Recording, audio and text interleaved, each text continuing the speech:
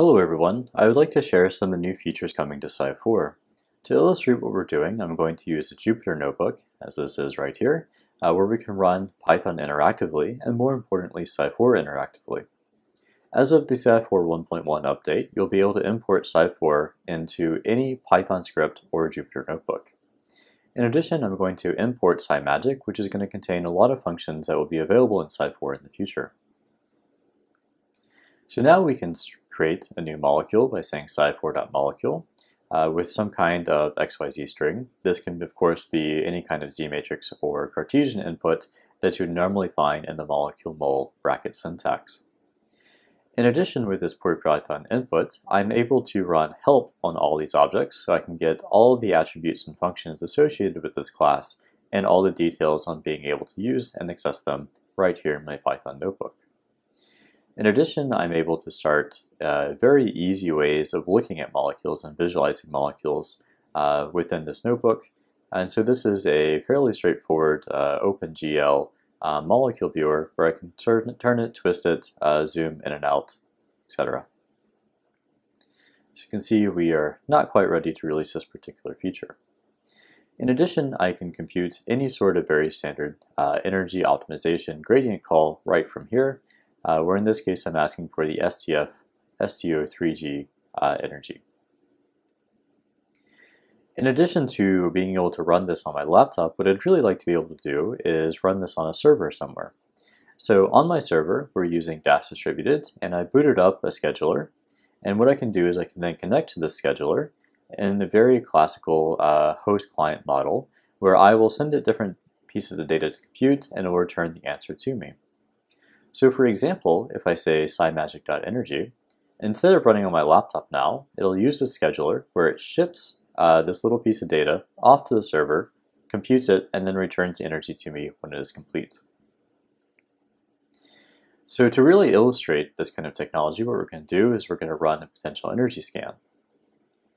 And what we have here is an XYZ, or I'm sorry, a Z matrix uh, input of the benzene methane dimer where the distance between the two monomers is defined by this distance d. So I'm going to use Python string find and replace, and then call psi4 geometry on this to build a new molecule that I can view. And I can indeed see that this is the benzene methane dimer. Then what I can do is I can loop over quite a few different distances, uh, do the same string find and replace to build molecules of different separation, and request the energy to be run on the server. In this case, I want the B3LYP D3M method STO3G basis set with the BSSE type of counterpoise corrected. So I'm going to go ahead and let this run. And one of the unique features of using Dask is that I'm actually able to visualize what my server is doing and what it's running. So the first thing to note is when I ask it to compute this information, I have some kind of uh, network send receive spike where I ship this data out. And then immediately after that, I can see that I have started actually computing uh, everything that I requested. And since these are fairly small computations, I'm not actually uh, taking up a very large part of my server. And so how this works is every single object is going to return to me a future. And so what this is, is this is data on the server, and it's a single computation, and this computation has not completed yet because the task is still pending.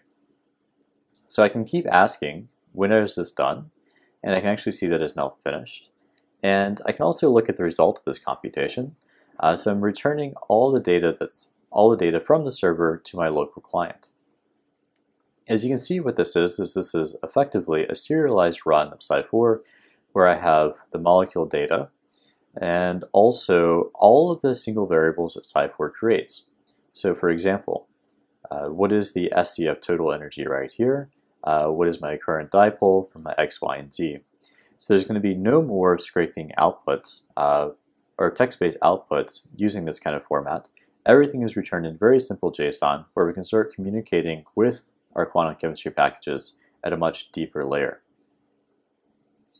So what I can do is I can loop over all these features, ask for the result, and I want the current energy or the counterpoise correct energy that I requested, multiply it by 627.5 to convert to kcal to mol from Hartree. And then what I can use is I can use Seaborn, which is a very popular Python-based plotting program to actually return myself a potential energy curve as shown right here. In addition, I'm very interested in databases. So another thing we can do is we can load up a SciMagic database, which at its core is a um, pandas data frame, and I've stored this in a very complex, um, in a very uh, compressed format. And so I can load it in, and I can look at the shape. So I have 8,000 rows and about 100 columns, so a little less than a million data points. And the data subsets uh, range from the very small A24 test set for non-covalent interactions um, to the very popular S22 by 7 uh, data set that's uh, uh, first popularized by Hobza et al. Um, to really show off what kind of different non-covalent interactions that we have. And I can see that all these results are going to be uh, some kind of DFT method with um, an empirical dispersion term uh, in several different basis sets.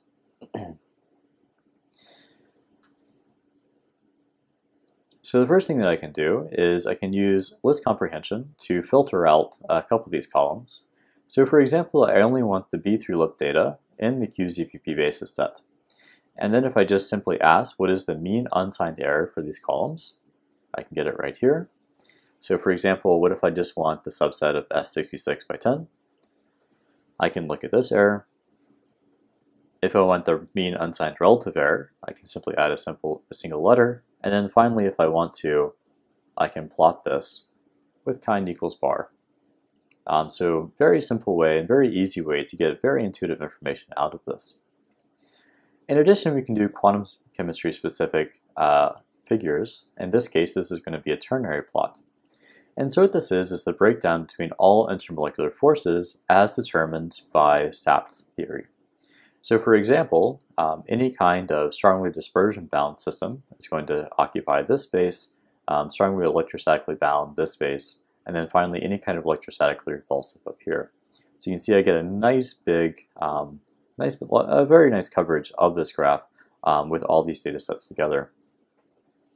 And again, I can look at different subsets. So for example, SSI is going to be a protein-based side chain, side chain interaction data set. Um, so we've got about 3,000 points. Cover this dispersion region very strongly, um, and either some of the electrostatic as well. But what happens if I look at a data set where I don't have data for? And I say, oh no, um, I need this data somehow. Uh, so what I can do is I can ask my database to go off and compute uh, SAPT0 and the A24 subset.